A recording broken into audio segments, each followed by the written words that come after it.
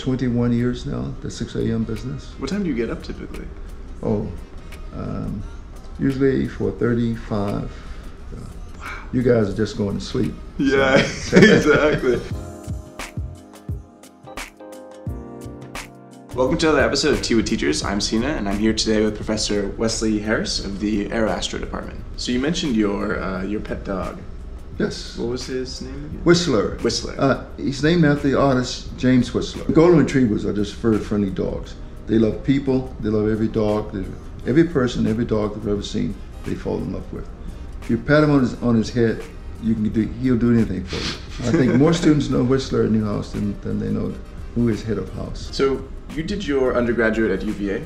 Yes. I arrived or was sent to the University of Virginia because of the project with the Cloud Chamber having earned or been awarded a third place in physics at the White Conference held on grounds at the University of Virginia.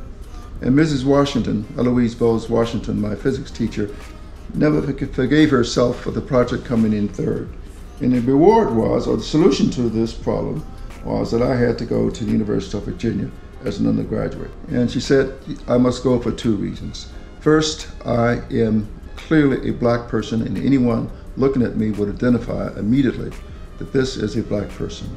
And second, uh, to make a mark against this challenge of our generation, which Mrs. Washington explained, to prove to whites that blacks can produce absolute scholarship. So what would you say is the biggest success you achieved during your undergraduate career?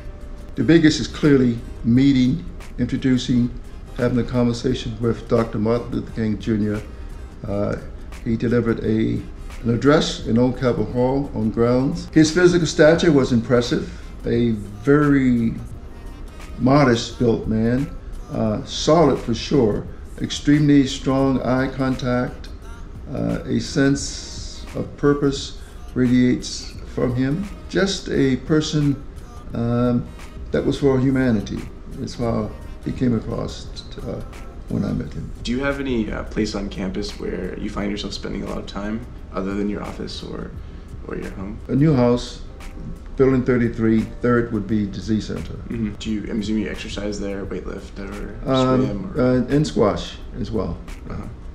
There are some gym rats. We assemble around 6 a.m. in the mornings.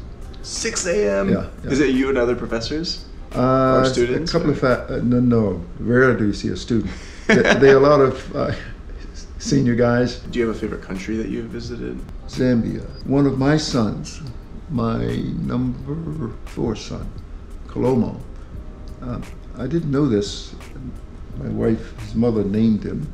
Uh, there's a city in uh, Zambia named Kalomo. K A L O M O. How many children do you have? Six. Oh wow, that's a big family. Yeah, I'm a dinosaur sense. no, I think that's really cool. I have three, uh, two sisters myself, and even finding uh, everything is built for families of four. Typically, you know, you go on a plane, it's like two and two, or you go to a hotel, it's like two beds.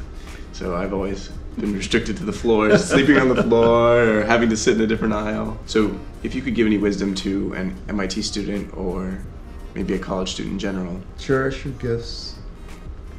Develop them even more so. But please share them. I, I think it, what it means to be an adult uh, in today's world uh, is is sharing your gifts. It comes down to service. It it, it manifests itself in many ways. Uh, one way that's impacted me is what I call the the round table, in which all stakeholders are at the table.